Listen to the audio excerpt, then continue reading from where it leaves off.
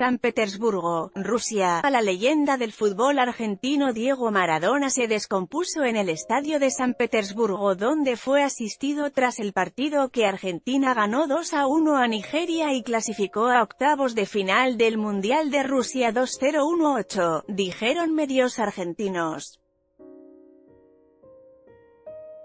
Maradona, de 57 años, fue atendido en el sector VIP del estadio por una descompensación de presión tras haberse mostrado eufórico durante el encuentro que Argentina ganó muy cerca del final, agregaron los medios.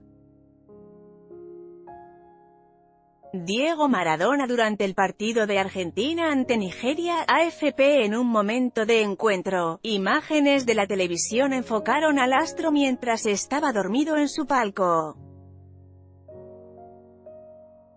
Diego Maradona recibiendo atención tras el partido, agencia según un video difundido por medios argentinos y de otros países, dos personas ayudaron al campeón mundial de 1986 a desplazarse hasta que fue atendido.